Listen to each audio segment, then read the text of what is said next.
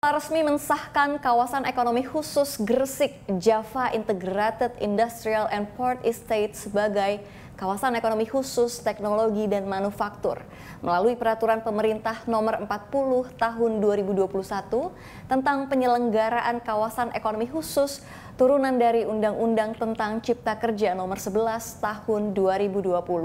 Kali ini saya akan berdialog bersama Direktur Utama PT AKR Korporindo Tbk selaku pemilik kawasan ekonomi khusus JP, Bapak Haryanto Adi Kusumo. Pak Haryanto, apa kabar? Baik, terima kasih undangannya. Selamat siang. Pak Haryanto, bagaimana nih manajemen AKR Korporindo melihat dukungan pemerintah untuk pembentukan sejumlah kawasan ekonomi khusus, termasuk kawasan ekonomi khusus Gresik JP? Ya, pertama-tama saya ingin mengucapkan terima kasih kepada pemerintah Indonesia yang telah mendukung dan menyetujui JP sebagai kawasan ekonomi khusus teknologi dan manufaktur. Pembentukan kawasan ekonomi khusus menurut kami sudah strategi yang tepat untuk membuka industri Indonesia ke pasar global dan menarik investasi sebanyak-banyaknya dalam rangka mempercepat perkembangan ekonomi Indonesia. Dewan Nasional KIK memberikan KIK berdasarkan yang pertama keunggulan ekonomi, yang kedua adalah geostrategis untuk meningkatkan penanaman modal sehingga bisa mempercepat pertumbuhan ekonomi nasional. Kawasan ekonomi khusus JP dipersiapkan untuk mengelola produk-produk yang bernilai ekonomi tinggi untuk mempercepat pembangunan ekonomi Indonesia. KIK Gresik sebagai KIK yang dikembangkan atas lahan yang seluas 3.000 hektar, memiliki konsep yang terintegrasi baik dengan aspek infrastruktur maupun utilitas, supaya kawasan JP bisa bersaing dengan kawasan industri lainnya di Asia Tenggara dalam menarik investor ke Indonesia. Baik, Pak Haryanto ini ada pesan khusus nggak dari pemerintah untuk AKR Korporindo nih sebagai pemilik JP khususnya mendukung aktivitas dan percepatan pertumbuhan ekonomi khususnya di Jawa Timur? Ya, pemerintah ingin KIK Gresik untuk dapat berkontribusi dalam perekonomian nasional dan regional dan juga untuk mempercepat penyerapan lapangan pekerjaan. KIK Gresik dengan infrastruktur yang terintegrasi dan keunggulan yang kita miliki dan beroperasi di Jawa Timur yang merupakan sumber SDM yang berkualitas. Sehingga KEK Gresik JP dapat bersaing dengan lintas negara kawasan industri, terutama untuk mempromosikan industri yang berorientasi ekspor maupun substitusi import maupun industri berteknologi tinggi dalam menarik investor ke Indonesia. Kami percaya dengan memposisikan JP sebagai kawasan industri 4.0, kami dapat menyerap industri-industri yang berteknologi tinggi seperti industri logam, elektronik, kimia, energi maupun logistik. Kami percaya dengan infrastruktur yang terintegrasi serta insentif KEK yang diberikan oleh pemerintah, maka JP dapat menjadi tujuan investasi baik untuk domestik maupun uh, global investor. Baik, ini dengan hadirnya kawasan ekonomi khusus Gresik JP, sebetulnya uh, ini akan seberapa mudah sih bagi para pengusaha di tanah air dalam menjalankan bisnisnya di uh, kawasan ekonomi khusus uh, Gresik JP? Ya. KIK Gresik JP ingin menjawab beberapa indikator kemudahan berbisnis yang digarisbawahi oleh Bank Dunia. Di antaranya, yang pertama ketika memulai berusaha yang kedua, akses listrik dan utilitas yang berkualitas. Yang ketiga adalah kepemilikan properti dan yang keempat adalah insentif pajak maupun non pajak. Nah, para tenan di JP akan dapat menikmati fasilitas dan utilitas yang lengkap yang disertai oleh multimoda transportasi yang akan menurunkan biaya logistik maupun meningkatkan efisiensi bisnisnya. Selain itu, Tenant juga akan mendapatkan insentif dari pemerintah sebagai KIK, baik dari insentif fiskal seperti misalnya tax holiday, tax allowance, import duty, maupun non-fiskal insentif lainnya seperti untuk ketenaga kerjaan, keimigrasian, dan kepemilikan tanah yang bisa mencapai sampai 80 tahun. Serta izin konstruksi langsung atau klik yang telah dimiliki oleh JP. Dan ini akan sangat menguntungkan bagi tenant dalam menjalankan bisnisnya di JP. Baik Pak Haryanto, ini apakah ada level ease of doing business yang ditargetkan oleh manajer RKR uh, eh, Korporindo sendiri di uh, kawasan ekonomi khusus Gresik JP? Kami ingin investor dapat merasakan kemudahan dalam berinvestasi dan berbisnis sejak mereka menginjakan kakinya di JP.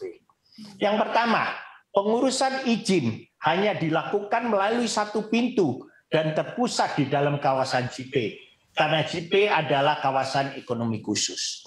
Yang kedua, saat investor ingin membuka bisnisnya di JP, maka JP akan membantu segala pengurusan izin-izin dari awal hingga investor dapat menjalankan bisnisnya, termasuk izin AMDAL. Dan JP juga memiliki fasilitas klik, yaitu izin kemudahan langsung konstruksi, sehingga tenant dapat langsung bangun pabriknya sembari mengurus perizinan. Dan ketika sudah menjalankan bisnisnya, para tenant dapat fasilitas dan utilitas berkualitas premium dengan harga tarif yang kompetitif. Akses multimoda yaitu pelabuhan laut dalam, jalan tol, eh, dekat dengan Bandara Juanda, juga dengan eh, kereta api, maka ini akan dapat mendorong penurunan biaya logistik dan juga biaya produksi. Sehingga dengan ditambah dengan insentif fiskal dan non fiskal yang diberikan oleh pemerintah akan meningkatkan efisiensi dalam berbisnis. Jadi investor hanya tinggal masuk ke JP, langsung membangun dan menjalankan bisnisnya dengan sumber daya yang sudah siap. Pak Haryanto, ini termasuk uh, untuk dukungan residensial bagi para karyawan lokal maupun asing ya Pak, yang akan bekerja di lingkungan uh, kawasan ekonomi khusus Gresik JP? Ya, kawasan JP dilengkapi dengan fasilitas dan utilitas yang lengkap untuk mendukung operasional bisnis seperti pembangkit listrik, pengolahan air bersih, air limbah, supply gas, dan lain-lainnya. Juga JP terhubung dengan jalan tol, sehingga para pelaku bisnis di seluruh Pulau Jawa dapat dijangkau oleh jalan tol ini. Sehingga uh, memper, uh, mengurangi biaya logistik. Juga karena kita memiliki residential, maka para pekerja dapat dengan mudah untuk menuju ke tempat pekerjaan mereka. Karena residential uh, dan komersial di JP uh, dilengkapi dengan lapangan golf, universitas, juga uh, rumah sakit dan juga mall sehingga memberi keseimbangan antara hidup dan bekerja untuk meningkatkan produktivitas dan kualitas hidup para penghuni yang tinggal dan bekerja di JP.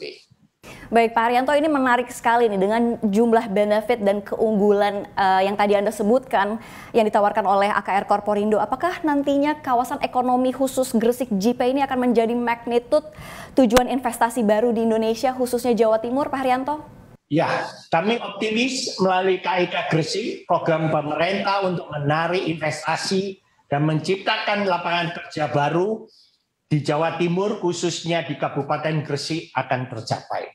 KIK Gresik telah menunjukkan uh, minat dari investor yang signifikan. Demikian juga kami juga menandatangani dengan dua lembaga lain yang akan investasi di kawasan JP. KIK Gresik kami percaya juga akan berkontribusi dalam peningkatan pajak daerah dan pertumbuhan ekonomi Provinsi Jawa Timur maupun Indonesia. Bahkan kami percaya dengan integrasi transportasi dan utilitas dapat membuat KIK Gresik menjadi hub untuk menunjang perekonomian Indonesia Timur.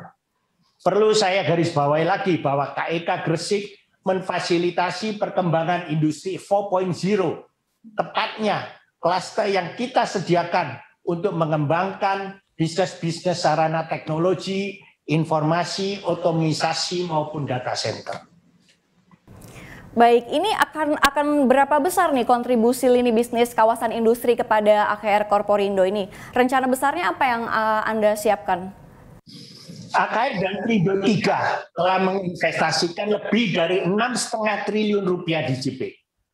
Kita telah membebaskan lebih dari 1.200 hektar kawasan industri yang siap jual. Nah, saat ini adalah saatnya menuai hasil investasi kami Kontribusi dari KIK Gresik JP bukan hanya berkontribusi dari penjualan lahan, tapi yang lebih penting lagi adalah kontribusi daripada recurring income dari supply daripada pelabuhan, services, apakah dari utilitas, dan lain sebagainya. Sehingga kami percaya di masa yang akan datang kontribusi JP terhadap AKR akan lebih signifikan. Baik, bisnis utama dari AKR Korporindo ini kan antara lain hilir migas, industri kimia dasar, distribusi pelumas untuk industri besar dan logistik. Ini kolaborasi dan integrasi apa yang akan dilakukan AKR bersama dengan lini bisnis kawasan industri? Haryanto. Ya, pada dasarnya AKR Korporindo telah menjalankan bisnis logistik dan supply chain dalam energi dan kimia dasar sejak tahun 1960 jadi tahun ini kami berulang tahun yang ke-61. Kami memiliki tangki penyimpanan di 17 titik operasi dan 15 pelabuhan laut dan sungai di Indonesia. Dan didukung oleh sistem IT yang terintegrasi dalam pendistribusian energi dan kimia dasar. Berdasarkan pengalaman kami dalam berbisnis di Indonesia ada tiga hal yang mendorong efisiensi dalam berbisnis. Yang pertama adalah konektivitas yang mudah dan murah. Yang kedua adalah perizinan yang mudah. Dan yang ketiga adalah kemudahan akses utilitas dan komoditas. Ini adalah dasar kami mengembangkan JP, di mana JP tidak hanya akan mendapatkan pemasukan dari penjualan lahan, tapi juga recurring income dari utilitas dan services yang kami sediakan. Baik Pak Haryanto Adikusumo, Anda selaku Direktur Utama AKR Korporindo TBK. Terima kasih sudah bergabung bersama CNBC Indonesia. Sehat dan sukses selalu untuk Anda. Terima kasih. Untuk informasi lebih lengkap dan berita terkait, klik link di deskripsi. Jangan lupa untuk install aplikasi CNBC Indonesia di App Store dan Play Store. Jangan lupa untuk subscribe ya.